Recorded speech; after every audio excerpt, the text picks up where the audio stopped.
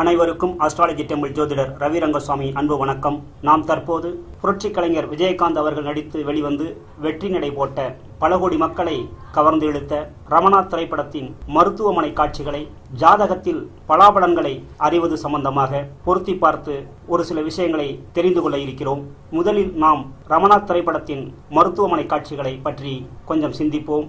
ரமணா திரைப்படத்தில் விஜயகாந்த் அவர்கள் தனியார் மருத்துவமனையில் நடக்கக்கூடிய அத்துமீறல்கள் தனியார் மருத்துவர்களால் மருத்துவமனையால் பொதுமக்கள் நோயாளிகள் எந்த அளவிற்கு ஏமாற்றப்படுகிறார்கள் வஞ்சிக்கப்படுகிறார்கள் பொதுமக்கள் எந்த அளவிற்கு நம்பிக்கை துரோகத்திற்கு ஆளாகிறார்கள் பொதுமக்கள் மற்றும் நோயாளிகளுடைய அறியாமையை படித்த மேதாவிகளான மருத்துவர்கள் எந்த அளவிற்கு ஏமாற்றுவதற்காக பயன்படுத்திக் கொள்கிறார்கள் என்பதை தெள்ளத் தெளிவாக அச்சு அசலாக மிகச் சிறப்பாக படம் பிடித்து காட்டியிருப்பார்கள். அந்த தனியார் மருத்துவமனையில் உள்ள அனைத்து வகை குற்றங்குறைகளையும் தவறுகளையும் அந்த மருத்துவமனைக்கு சிகிச்சைக்காக சென்ற விஜயகாந்த் அவர்கள் அந்த மருத்துவமனையின் ஏமாற்றத்தையும் தகிடு தத்தங்களையும் அறிந்து கொண்ட விஜயகாந்த் அவர்கள் மக்களை ஏமாற்றிக் கொண்டிருக்கின்ற வஞ்சித்துக் கொண்டிருக்கின்ற மருத்துவமனையின் அனைத்து வகை தவறுகளையும் பொதுமக்களிடத்தில் பொது வெளியில் சொல்ல வேண்டும் என்ற நோக்கத்தின் அடிப்படையில் புரட்சி கலைஞர் விஜயகாந்த் அவர்கள் சில விஷயங்களை மேற்கொள்வார். அதற்காக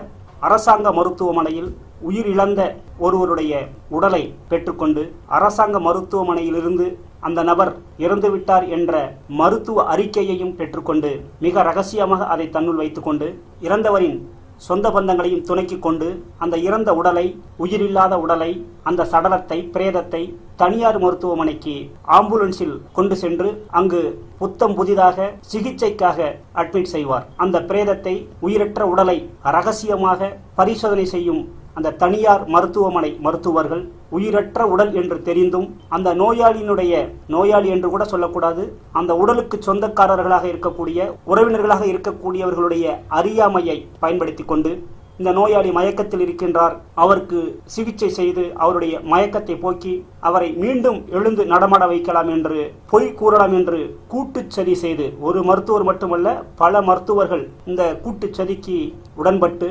அனைவரும் சேர்ந்து அந்த நோயாளியினுடைய மருத்துவர்களை பொறுத்தவரை அவர் நோயாளி நம்மை பொறுத்தவரை இறந்து போன ஒரு உடல். அந்த சடலத்தின் உறவினர்களிடம் பணம் வசூலிப்பதற்காக விஜயகாந்த் அவர்களிடம் அந்த மருத்துவர் உடனடியாக குறிப்பிட்ட தொகையை கூறி அந்த பணத்தை மருத்துவமனையில் கட்டிவிட்டால் உடனடியாக அட்மிஷன் செய்து தொடர்ந்து மருத்துவ சிகிச்சை செய்து அவரை தேற்றிவிடலாம் என்று கூறுவார். இருந்தாலும் விஜயகாந்த் அவர்கள் இந்த மருத்துவர்கள் எந்த அளவிற்கு ஏமாற்றுகிறார்கள் என்பதை சட்ட ரீதியாகவும் மருத்துவ குறிப்புகள் ரீதியாகவும் இந்த உலகிற்கு பறைசாற்ற வேண்டும் என்ற நோக்கத்துடன் அந்த மருத்துவர் கூறிய பணத்தை மருத்துவமனையில் கட்டிவிட்டு சில நாட்கள் தொடர்ந்து மேலும் மேலும் படம் கட்டி மருந்து மாத்திரைகளுக்காகவும் பணம் செலவு செய்து மருத்துவர்கள் எந்த அளவிற்கு பண வெறியில் வசூல் செய்து கொண்டிருக்கிறார்கள் என்பதை தெல்ல தெளிவாக காட்டியிருப்பார்கள். இறுதியாக சிகிச்சைக்கு அனுமதிக்கப்பட்ட நபர் உயிர் இழந்து விட்டதாக மருத்துவர் விஜயகாந்த் அவர்களிடம் சொல்வார். அப்போதுதான் விஜயகாந்த் அவர்கள் நீங்கள் ஒரு மருத்துவர் உங்களுடைய மருத்துவ சேவை எந்த அளவிற்கு அநியாயமாக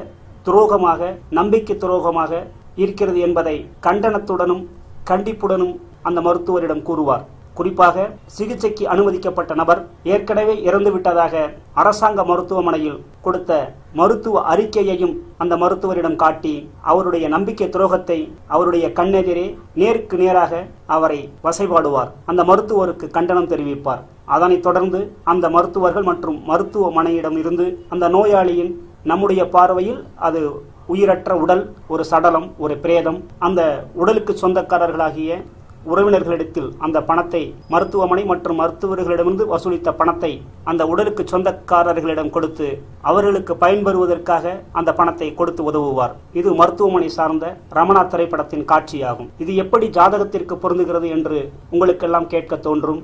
அந்த வகையில் உங்களுடைய கேள்விக்கான பதிலை நான் சொல்ல கடமைப்பட்டுள்ளேன். ஜாதகத்தில் பிறந்த நட்சத்திரம் ஜாதக கிரக அமைப்புகள் எவ்வளவு முக்கியமோ அதே போல ஒவ்வொருவருக்கும் தற்போது எந்த மாதிரியான பலன்கள் நடைமுறைக்கு வரும் என்பதை கணக்கீடுகளின் அடிப்படையில் கூறக்கூடிய ஒரு விஷயம்தான் தசாபுத்தி அந்தர கணக்கீடு. இந்த தசாபுத்தி அந்தர கணக்கீட்டை நாம் பயன்படுத்துவதில்தான் அறியாமையையும் தவறுகளையும் செய்து கொண்டிருக்கிறோம். ஆமாம் ஒரிஜினல் தசாபுத்தி அந்தர அட்டவணையில் ஒரு மாதம் முப்பது நாட்கள் ஒரு வருடம் முன்னூற்றி அறுபது நாட்கள் கொண்ட பன்னிரண்டு மாதங்கள் கொண்டதாக உருவாக்கப்பட்டிருக்கிறது.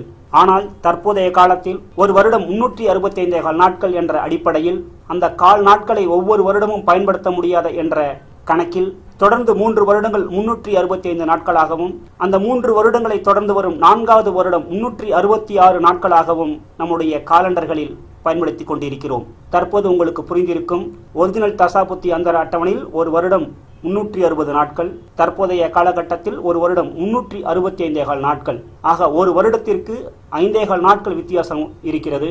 அந்த வித்தியாசத்தை ஒரு உதாரணத்துடன் நாம் பார்க்கும்போது ஜாதகத்தில் ஒன்பது கோள்களுக்கும் தச ஆண்டுகள் நிர்ணயம் செய்யப்பட்டிருக்கின்றன. அந்த வகையில் குரு பகவானுக்கு பதினாறு ஆண்டுகள் நிர்ணயம் செய்யப்பட்டிருக்கிறது. பதினாறு ஆண்டுகளை ஒரிஜினல் தசாபுத்தி அந்த அட்டவணையின்படி ஒரு ஆண்டுக்கு முன்னூற்றி அறுபது நாட்கள் என்று கணக்கீடு செய்தால் மொத்தம் ஐயாயிரத்தி எழுநூற்றி அறுபது நாட்கள் வருகிறது. அதே குரு பகவானுடைய பதினாறு ஆண்டுகளை ஒரு வருடத்திற்கு முன்னூற்றி அறுபத்தி ஐந்து கால் நாட்கள் என்று கணக்கீடு செய்யும் போது ஐயாயிரத்து எண்ணூற்றி நாற்பத்தி நான்கு நாட்கள் வருகிறது. ஆக இந்த பதினாறு வருடங்களுக்கும் ஒவ்வொரு வருடத்திற்கும் ஐந்தேகால் நாட்களை வித்தியாசத்தை அடுத்தடுத்து கணக்கீடு செய்யும் போது எண்பத்தி நான்கு நாட்கள் வித்தியாசம் வருகிறது. ஆக குரு தசைக்கு மட்டுமே இந்த வித்தியாசம் ஒன்பது கிரகங்களுக்கும் இந்த வித்தியாசம் இருக்கிறது. ஒவ்வொரு மாதத்திற்கும் ஒவ்வொரு ஆண்டுக்கும் இந்த வித்தியாசம் இருக்கிறது. இந்த வித்தியாசம் நம்மை அறியாமலேயே இதுநாள் வரை நாம் ஜாதகத்தில் பயன்படுத்தி தசாபுத்தி அந்தரம் சார்ந்த பலன்களை சரியாக அனுபவிக்கவில்லை என்பதுதான் என்னுடைய கருத்தாகும். உதாரண தேதியுடன் இந்த வித்தியாசத்தை நாம் அணுகும்போது உதாரணமாக இரண்டாயிரத்தி ஒன்பதாம் வருடம் அக்டோபர் மாதம் இருபத்தெட்டாம் தேதியிலிருந்து குரு பகவானுடைய தசா ஆண்டுகளான பதினாறு வருடங்களை கூட்டினால் இந்த பதினாறு வருடங்களில் ஒவ்வொரு ஆண்டும் முன்னூற்றி அறுபத்தைந்தே கால் நாட்கள் என்ற கணக்கில் எடுத்துக் கொள்ளுங்கள். அந்த வகையில் இருபத்தி எட்டு பத்து இரண்டாயிரத்தி ஒன்பது முதல் பதினாறு ஆண்டுகளை கூட்டும்போது இருபத்தி எட்டு பத்து இரண்டாயிரத்தி இருபத்தி ஐந்து என்ற தேதி முடிவு தேதியாக வருகிறது. இந்த தேதி தவறான தேதியாகும். ஏனெனில் நாம் கூட்டிய கணக்கு என்பது ஒரு வருடத்திற்கு முன்னூற்றி அறுபத்தைந்தே நாள் என்ற கணக்கில். ஆனால் ஒரிஜினல் தசாபுத்தி அந்த அட்டவணையில் ஒரு வருடம் முன்னூற்றி அறுபது நாள் என்பதுதான் சரியான கணக்காக அமைந்திருக்கிறது. அந்த வகையில் மிக தவறான கணக்கீடு தற்போது நாம் பார்த்தது. அதே நேரத்தில் அதே உதாரண தேதி இரண்டாயிரத்தி ஒன்பதாம் வருடம் அக்டோபர் மாதம் இருபத்தெட்டாம் தேதியிலிருந்து ஒரு வருடத்திற்கு முன்னூற்றி அறுபது நாட்கள் என்ற ஒரிஜினல் தசாபுத்தி அந்த அட்டவணையை கொண்டு குரு பகவானின் மகாதசை பதினாறு வருடங்களை கூட்டும்போது முடிவு தேதி இரண்டாயிரத்தி இருபத்தி ஐந்தாம் வருடம் ஆகஸ்ட் மாதம் ஐந்தாம் தேதி வருகிறது. ஆக தவறாக கூட்டி வந்த முடிவு தேதிக்கும் தற்போது சரியாக கூட்டி வந்த முடிவு தேதிக்கும் இரண்டு மாதம் மூன்று வாரம் இரண்டு நாட்கள் வித்தியாசம் இருக்கிறது. இந்த வித்தியாசத்தை தான் நாம் ரமணா திரைப்படத்தின் மருத்துவமனை காட்சிகளில் ஒப்பீடு செய்து பார்க்க வேண்டும். எப்படியெனில் இறந்து போன ஒரு உடலுக்கு தனியார் மருத்துவர்கள் பண வெறியால் எப்படி மருத்துவம் பார்த்தது போல நடித்தார்களோ அதனால் அவமானப்பட்டார்களோ கூனி குறுகினார்களோ அதுபோல தவறான தசாபுத்தி அந்தர கணக்கீட்டை பயன்படுத்தும் போது அறியாமையின் அடிப்படையிலும் தவறுகள் ஏற்பட்டு விடுகிறது. பழங்கள் ஒத்துப்போவதில்லை. தெரிந்தும் அந்த கணக்கை சரியாக போடாமல் தவறாகவும் அந்த ஜாதகர்கள் வழிகாட்டப்படுகிறார்கள். ஆக ரமணா திரைப்படத்தின் மருத்துவமனை காட்சி தற்போதுதான் ஒப்பீடாக அமைகிறது. ஆக மிகச் சரியான துல்லியமான கணக்கீட்டின் அடிப்படையில் இரண்டாயிரத்தி இருபத்தி ஐந்தாம் தேதி ஆகஸ்ட் மாதம் ஐந்தாம் தேதியே முடிவு தேதி வருகிறது. அதற்கு பிறகுதான் தவறான கணக்கீட்டின் அடிப்படையில் இரண்டாயிரத்தி இருபத்தி ஐந்தாம் வருடம் அக்டோபர் மாதம் இருபத்தெட்டாம் தேதி முடிவு தேதியாக வருகிறது. இந்த வீடியோவில் காட்டப்படுகிற கணக்கை ஒன்றுக்கு இரண்டு முறை நீங்கள் சரிபார்த்துக் கொள்ளுங்கள். இதில் மிக தவறான கணக்கீட்டின் அடிப்படையில் வரக்கூடிய முடிவு தேதிக்கு முன்பாகவே மிகச் சரியான கணக்கீட்டின் அடிப்படையில் வரக்கூடிய முடிவு தேதி முடிந்து விடுகிறது. தற்போது உங்களுக்கு புரிந்திருக்கும்.